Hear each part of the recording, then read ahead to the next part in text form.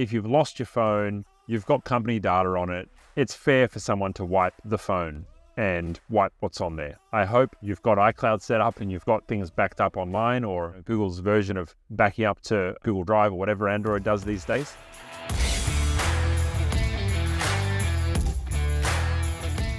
When jobs make you download work email and Google Microsoft Authenticator apps on your personal phone, can they spy on your personal device under the cover of the fine print of a sneaky user agreement? Let's put it this way someone can see your activity as it pertains to the business anytime you have a business workspace account on your device, but they can't see your personal information like your photos or your emails in your personal inbox or the text message that you sent someone in WhatsApp. What someone may be able to see if they have a mobile device management app installed in your phone is your location at a certain time. That's certainly personal information. They may be able to see what Wi Fi network you're connected to. That's personal information. They may be able to see what apps you have installed on your phone. Well, that is personal information. So you know, people get worried when they put corporate apps on their phone, right? What can these people see and what can these people do?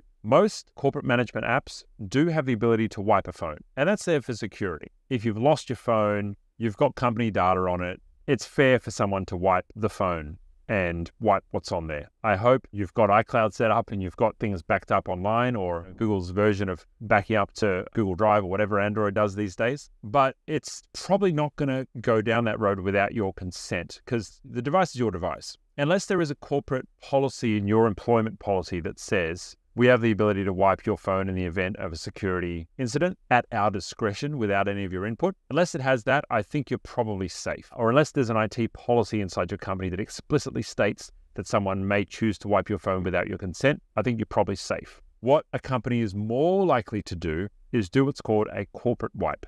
And a corporate wipe is where they click similar button, but instead of wiping the whole phone, it just wipes every tracking app and every piece of corporate information off that phone the next time it connects to the internet. That's what most businesses are going to do to protect their data. Unless you request for them to wipe the whole phone, that's probably an option.